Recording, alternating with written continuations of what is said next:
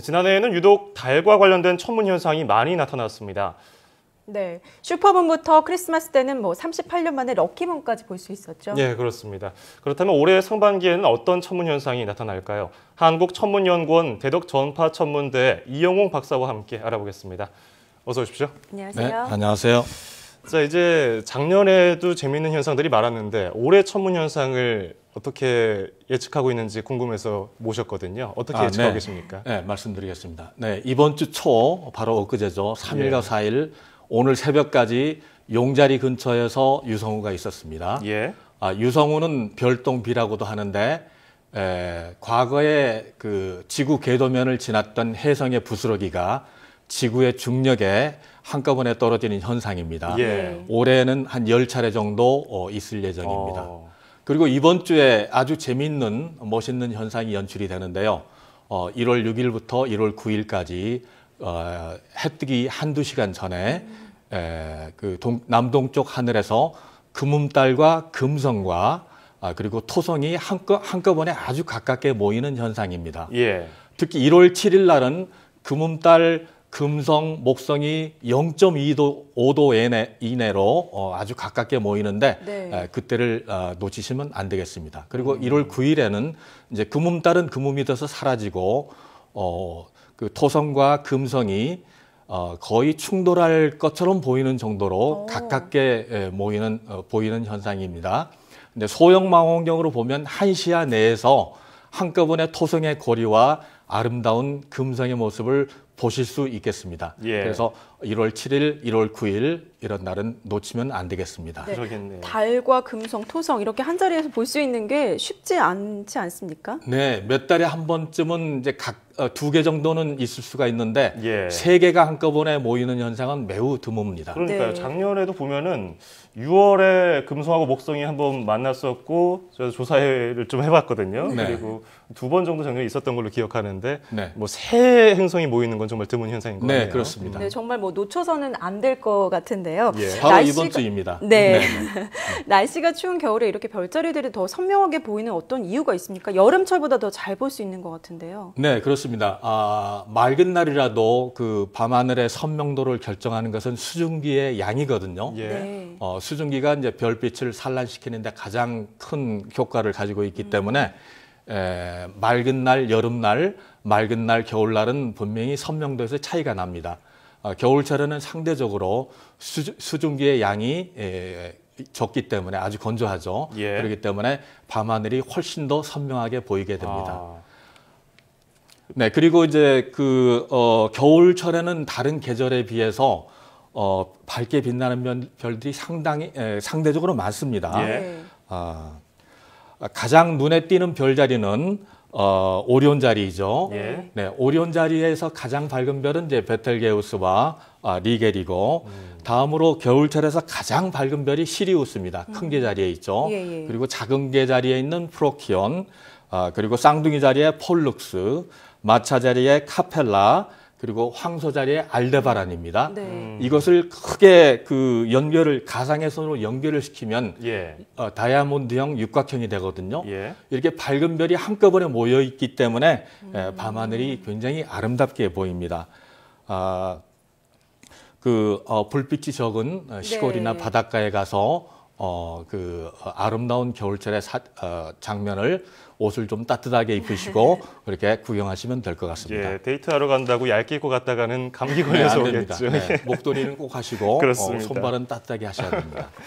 자, 달이 해를 가리는 부분 일식도 있지 않겠습니까? 이것도 올해 나타나겠죠? 네, 있습니다. 예. 아, 올해 이제 몇 번의 일식 현상이 있는데요. 어, 달의 공동 어, 공정 궤도면은 백도면이라고 하고 지구의 공동 어, 공정 궤도면을 황도면이라고 하는데 예. 에, 백도면이 황도면에 비해서 약 5도 정도 기울어져 있습니다. 네. 따라서 달이 공전할 때마다 매번 일식이 일어나는 것은 아니고요. 음. 백도와 황도가 일치할, 일치하는 금음 때만 일어납니다. 예. 아, 일식이 일어나도 이제 지구의 위치에 따라서 그 일식 정도가 달라지는데 에, 올해는 이제 3월 9일 날 처음 일식이 있거든요. 예. 그러나 불행하게도 저희 나라에서는 아주 작게 보- 작게 부분 일식을 볼 수 있는데 서울에서는 약 3% 정도, 아하. 제주도에서는 8% 정도 이렇게밖에 볼 수 없습니다. 우리나라에서는 잘 보기 어렵다는 음. 네, 제주도 정도에서 한 8% 정도 볼수 아, 있습니다. 그럼 예. 어디서 잘 볼 수 있을까요? 네, 이번은 이번 일식은 이제 동남아시아가 동남아시아가 주 무대인데요. 특히 예. 이제 인도네시아에서는 완전히 예, 개기 일식을 볼 수 있게 됩니다. 예. 네. 네. 이렇게 뭐 부분 일식이나 우리 시각으로 낮에 나타나는 것 보려고 하면 아무래도 좀 눈이 좀 부시고 네. 눈에 좀 안 좋은 영향이 있지 않을까 좀 걱정이 되는데요. 네. 어떤 좀 장비를 준비하고 보는 게 좋을까요? 네, 장비까지는 필요 없고요. 네. 어, 이제 햇빛이 강함으로 절대 맨눈으로 보아서는 안 됩니다. 음. 그리고 선글라스 아무리 좋은 선글라스라도 선글라스 끼고 보셔도 안 됩니다. 아, 어, 그렇군요. 그래요? 하기 어떻게 때문에. 네. 예, 그래서 문방구에서 보면은 이제 일식 관측용 아주 그 짙은 어, 셀룰로이드로 만든 안경 렌즈가 있습니다. 그거를 어, 쉽게 사서 어, 그 미리 준비를 해 놓으시면 될 것 같고요. 어, 소형 망원경으로 망원경으로 어, 관측하고 싶으신 분들은 그 일식용 필터가 또 따로 있습니다. 예. 아, 없을 경우에는 간접적인 그 상을 어, 반드시 또 일식 관측용 안경을 쓰고 보셔야 되고 카메라로 촬영하실 분도 역시 일식 관측용 카메라 필터가 있습니다. 그걸 사용해야 합니다. 아, 그러면 옛날에는 어떻게 보았을까요? 일식을. 옛날에는 어, 먹물을 천에 적당히 적셔서 아. 또는 한지에 적셔서 어, 어느 정도 불투명도를 높인 다음에 에, 관측하는 경우도 있고 예. 아니면 그것도 없을 경우에는 어, 맑은 물을 그 그릇에 어, 이렇게 채워넣고 네. 어, 물론 이제 완전히 거울처럼 잔잔해야 되겠습니다. 물 음. 수평 표면이 에, 아니면 어, 물 대신에 이제 먹물을 좀 섞어서 어, 그렇게 보면은 어, 그 일식 현상을 어, 간접적으로 이렇게 볼 수가 있겠습니다. 그 농도 맞추기가 어려웠을 것 같아요. 어, 몇개 시행착오를. 이제 몇 개의 그릇에 이제 준비를 이렇게 해놓으면 아, 더 좋겠죠. 그랬겠네요. 네, 네, 다르게 이렇게 그렇죠. 네, 자, 그런가 먹물의 농도를 이제 달이 해를 가리는 현상은 있는데 달 뒤로 행성이 숨는 현상은 없습니까? 아 당연히 있습니다. 예, 예. 아 달이 행성을 만나는 현상을 이제 엄폐 현상이라고 하거든요. 네. 현상. 어 일식이나 뭐 어, 월식은 이클립스라고 하는데 영어로 엄폐 예. 현상은 어컬테이션이라고 합니다. 음. 대체로 이제 달이 어그 어, 행성을 예, 먹어버리는 현상처럼 보이는데요. 예. 어, 이것도 역시 달의 공룡 궤도와 행성의 궤도가 아, 일치할 때 예, 행성이 달의 뒤로 가려지는 현상이라고 하는데 엄폐 현상은 위치에 따라 다르나 금성이 달의 뒤로 들어갈 경우에는 약 어, 1시간 내지 2시간 네. 위치에 따라서 다릅니다. 그렇게 계속이 되고 어, 올 4월에 마침 또 금성이 달의 달이 어, 달의 뒤로 숨는 어, 그런 현상이 있는데 예. 불행하게도 이것도 역시 우리가 우리나라에서는 볼 수가 없습니다. 아쉽네요. 왜냐하면 예. 지평선 아래에서 일어나기 때문이죠. 어, 우리나라보다 한두 시간 늦은 중국이나 인도네시아, 베트남, 홍콩 이런 나라에서는 아마 관측을 할 수 있을 것입니다. 아, 작년 12월 7일에도 달이 에, 에, 금성을 멍, 어, 만나는 현상이 있었는데 어, 역시 저희 나라에서 관측을 할 수 없었고 예. 어, 오로지 서양에서만 관측할 수 있었는데 에, 뭐 틀림없이 앞으로는 어, 가까운 미래에 그런 현상을 어, 틀림없이 관측할 수 있는 날이 올 것입니다. 네, 우리나라에서 볼 수 없다는 점이 참 아쉬운 점이네요. 네, 아무래도 나라의 면적이 좁아서 그런 것 같습니다. 네. 그런가 하면 이제 지난해 나사의 탐사선 New Horizons호가 명왕성 옆을 지나가면서 찍은 사진들이 화제가 됐었거든요. 아, 네. 나사의 탐사선이 명왕성 사진을 근접 사진을 보내와서 한동안 떠들썩했는데요. 네. 어, 명왕성은 네, 뭐잘 아시다시피 행성 지위에서 박탈이 되고 그렇죠. 지금은 외소 행성으로 분류가 되고 있는데 현재 지금 태양에서 그 명왕성까지의 거리는 가까울 때는 한 45km, 멀 때는 한 75km 이렇게 되고 지금 2016년 1월 현재는 약 55km 정도 어, 어, 떨어져 있습니다. 예. 그래서 태양빛이 도달하려면 5시간 이상이 걸리는데요.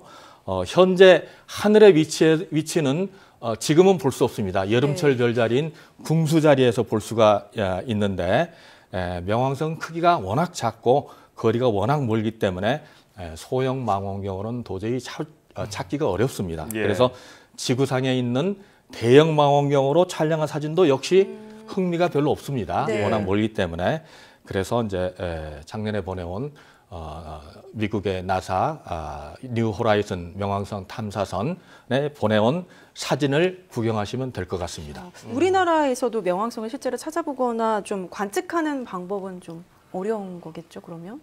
예, 찾아서 사진은 찍습니다만 네네. 어, 거의 점으로 나타나기 때문에 예, 뭐 별로 흥미가 없습니다. 아까 흥미가 없다는 말씀이 거기서 나온 네네 그렇습니다. 말씀이시군요. 네, 큰 차이가 없이 아주 그 흐- 흐릿하게 찍히기 때문에 예. 허블 망원경으로 찍어도 그렇게 좋지는 않습니다. 음. 이번에 New Horizon호가 찍은 사진이 최고이므로 아마 그, 그 이상은 아마 아직은 이제 그 다음에 네, 다음 세대에 나오겠죠. 인터넷 뉴스 찾아보는 걸로 아쉬움을 달래야 될 것 같고요. 네 그렇습니다. 자 이제 추운 겨울이 가고 봄이 오면은 이 천문 현상을 좋아하는 마니아들이 이제 바깥으로 많이 갈 텐데 간단하게 좀 추천 좀 해주시죠. 어떤 별자리가 네, 있는지. 네, 봄. 아 저도 이제 빨리 이 따뜻한 봄이 오기를 바랍니다. 예. 예, 봄이 되면 먼저 생각나는 노래가 있죠. 봄처녀라는 그렇죠. 가곡이 있죠. 근데 봄처녀 한- 하늘에는 처녀 자리가 있습니다. 아. 네, 봄철의 대표적인 별자리입니다. 아, 가장 큰 별은 스피카이고요. 예. 그 다음에 목동 자리에 아크투루스, 그리고 국자처럼 보이는 북두칠성, 어, 큰 곰자리죠. 가 하늘 가운데 위치하게 됩니다. 큰 곰자리의 마지막 별과 아크투루스, 스피카를 연결하면 국자 모양과 함께 에, 가상의 큰 곡선을 그려볼 수 있는데 이것을 봄철의 대곡선이라고 합니다. 예. 또한 사자 자리에 에, 꼬리별 데네볼라와 아크투루스 스피카 세 개의 밝은 별을 연결하면 봄철의 대삼각형 이것도 역시 쉽게 찾을 수 있습니다. 그래서 봄철의 별 자리는 어, 처녀 자리, 목동 자리, 사자 자리를 사자 자리를 기억하시고 높이 있는 북두칠성을 어, 관측하시면 될 것 같습니다. 네. 일단 겨울철에는 별이 더 선명하게 보인다고 하니까 가족과 친구들과 함께 밤하늘 또 보면서 이야기 나누는 것도 좋을 것 같습니다. 아, 네, 그렇습니다. 네, 지금까지 한국천문연구원 대덕전파 천문대 이영웅 박사와 함께 이야기 나눠봤습니다. 고맙습니다. 네, 감사합니다.